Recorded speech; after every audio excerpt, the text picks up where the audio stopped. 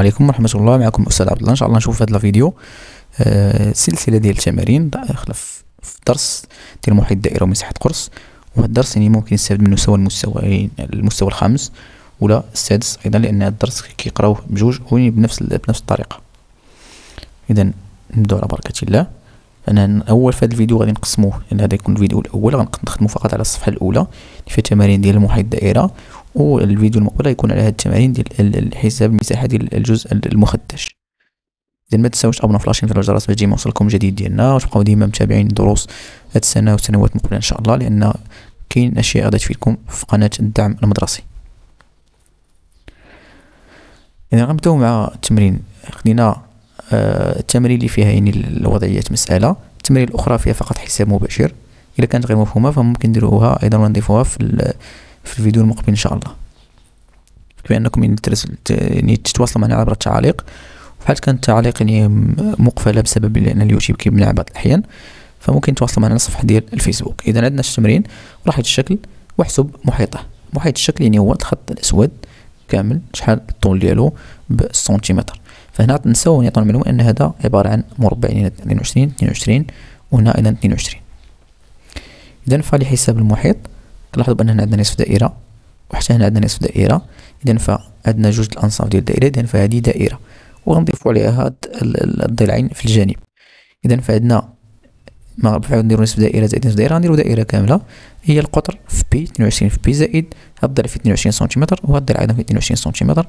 اذا 22 في بي هي 69.08 و 22 زائد 22 هي 44 فالمجموع هو مئة وثلاثة عشر فاصلة صفر ثمانية سنتيمتر هو محيط هذا الشكل. بالنسبة للتمرين رقم ثلاثة آه، دار عداء حول حلبة دائرية الشكل خمسون مرة. يعني مثلا العداء صورة فقط للتوضيح يعني كان يعني يجري آه، في حلبة دائرية الشكل ودار فيها يعني خمسين دورة أو جرى فيها خمسين مرة. ما هي المسافة التي سيقطعها أو قطعها. إذا علمت أن قياس شعاع الحلبة يساوي 30 متر. إذا عندنا حلبة دائرية هو جرى فيها 50 مرة والحلبة كنعرفو الشعاع ديالها هو 30 متر. بغينا نعرفو شحال المسافة اللي يقطع أول شيء نحسب أولا محيط الحلبة الدائرية.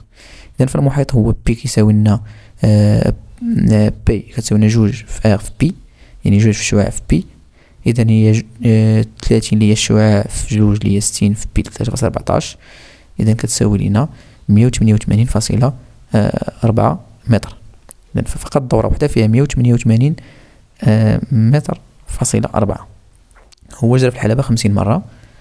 إذا ف نحسب ثانيا المسافة التي قطع العداء نضرب محيط الحلبة في خمسين. إذا فالنتيجة هي تسعة آلاف وأربعمائة وعشرون متر. يعني تقريبا يعني تسعة كيلومترات ونصف هي المسافة التي يجرها هذا العداء في الدورات الخمسين. التمرين رقم أربعة أقيم سياج طوله مئة وخمسون فاصلة اثنين وسبعون عطينا فقط صورة التوضيح مثلا ما كانش خدينا ودرنا فيه سياج بشكل آه، حديقة دائرية. الطول السياج اللي غادي نديرو في هذه الحديقة هو مئة وخمسين فاصلة اثنين وسبعين متر. بغينا نحسبو قطر الحديقة يعني شحال؟ طول ديال القطر.